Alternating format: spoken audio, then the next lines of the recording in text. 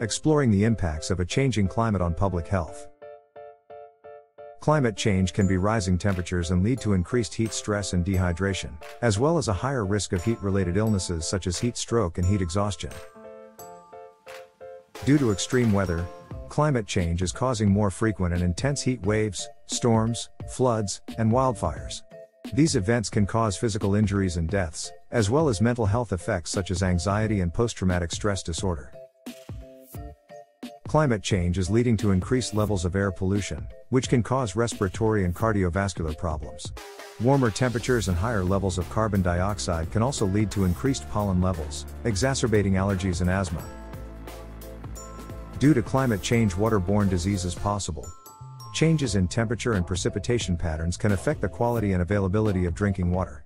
This can lead to an increased risk of waterborne diseases such as cholera and diarrhea. Due to climate change, infectious diseases possible. Climate change can also affect the spread and distribution of infectious diseases, such as malaria, dengue fever, and Lyme disease. Climate change is affecting crop yields and food production, leading to higher food prices and increased food insecurity. This can lead to malnutrition, especially in vulnerable populations such children and the elderly.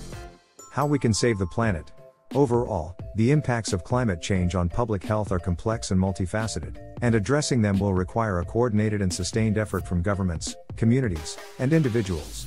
Taking steps to mitigate and adapt to climate change, such as reducing greenhouse gas emissions and building resilience to extreme weather events, can help protect public health and create more sustainable and resilient communities.